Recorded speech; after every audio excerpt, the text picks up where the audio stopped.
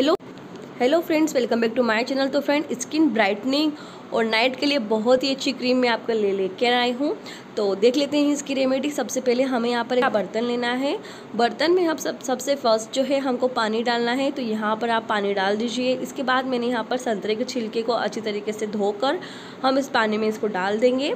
और दो संतरे के छिलके मैंने यहाँ पर लिए हैं। अच्छी तरीके से हमें इसको उबाल लेना है। थोड़ा सा और पानी मैंने ऐड किया है। ये क्रीम जो है जो है मैं एक महीने के लिए बना रही हूँ।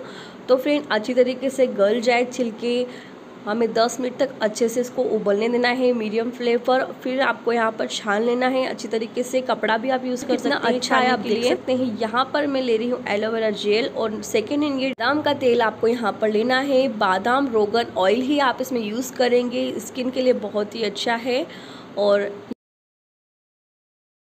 हल्दी थोड़ी सी हल्दी लेंगे।